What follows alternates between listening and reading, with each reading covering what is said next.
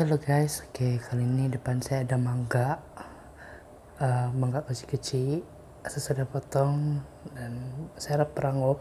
Sini adalah dadanya. Ini kita akan mulai sejak terus guys. Jadi sebelum semula kamu jangan lupa like dan subscribe sampai channel supaya itu kasih share sama kawan-kawan kamu. Ah, oke okay, dan jauh. Saya tidak tahu kenapa saya cakap begini. Kita akan mulai saja guys.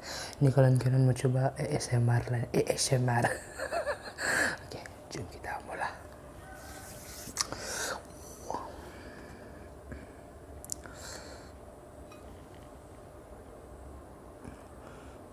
Nampak pula.